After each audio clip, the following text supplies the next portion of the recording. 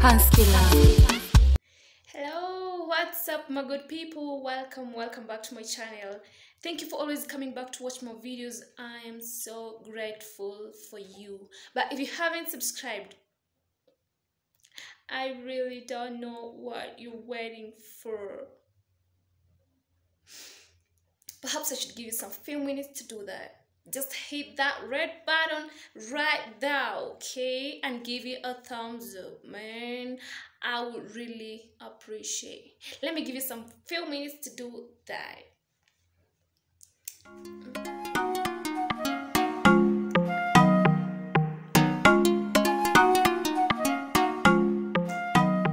Alright, thank you so so so much. And if you're new here and if it's your first time coming across my videos, my name is Lomong Christine. Consider subscribing to my channel. Consider subscribing.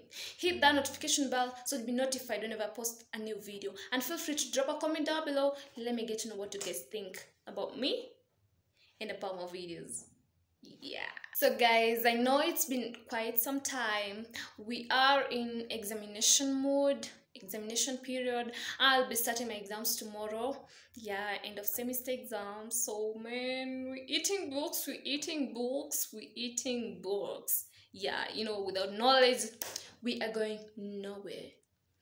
But i have this very crucial message to give it to you this day. If you're not ready for marriage, you're not ready for dating. So, without much ado, let's get started. So, as I said, if you're not ready for marriage, you are not ready for dating. That's all. Otherwise, you're dating for what? For fun? If you want to have fun, get a hobby. If you want to have fun, get swimming lessons. If you want to have fun, go mountain hiking. You don't use someone's height for fun. Queens, queens, I'm talking about girl child. My baby girls. Queens don't fall easily for pleasures. Take your time marriage or dating is something that is so and very serious. You don't, you don't just have to run into it. You need to take your time and see are you ready? Are you ready to be married by that particular man? And on the other side, are you ready to marry that particular girl? So you better choose. Sit down, think, and come up with a conclusion. If you're not ready for marriage, you're not ready for dating. Thank you.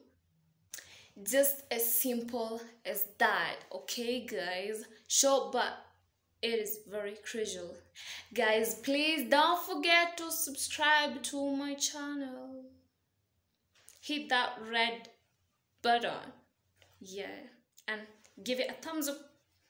We'll be We'll meet next time right here, okay? I love you all. How do you even look like? You look good?